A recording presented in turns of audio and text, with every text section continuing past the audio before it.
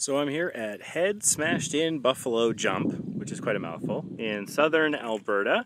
And so it's uh, it's it's an interesting attraction. So the idea is um, basically indigenous persons would uh, drive buffalo off this cliff up here, and it was sort of an easy way to score a meal. Uh, they you know sort of chase them, get them going, and then they'd all come flying off and then plunge to their deaths. And then the indigenous peoples would come and harvest the meat and the bones. And uh, as is uh, generally uh, the case with communities like that, they would leave nothing to waste.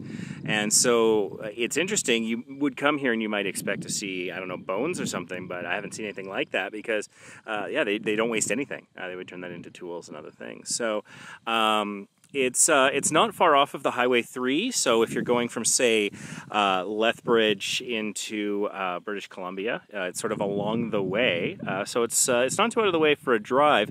In terms of accessibility, they have some handicap parking spots, but they're at the bottom of a bit of a hill that you got to climb. So it bills itself as sort of an accessible attraction.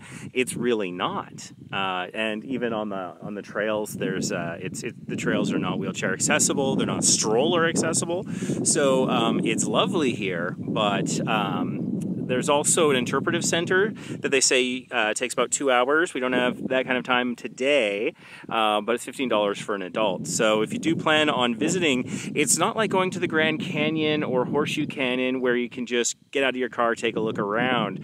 Uh, there's a commitment both in terms of if you want to go to the interpretive center of money and also physically walking uh, up some uh, relatively uh, steep hills if you have a mobility challenge. if you don't, it's, it's an easy walk. Um, but uh, it's just something to consider if you're planning your day and thinking about coming to Head Smashed in Buffalo Jump, which is just about the craziest name of a place I've ever heard. So, uh, yeah, check it out. Five, four, three, two, one, zero. All engine running. We have a.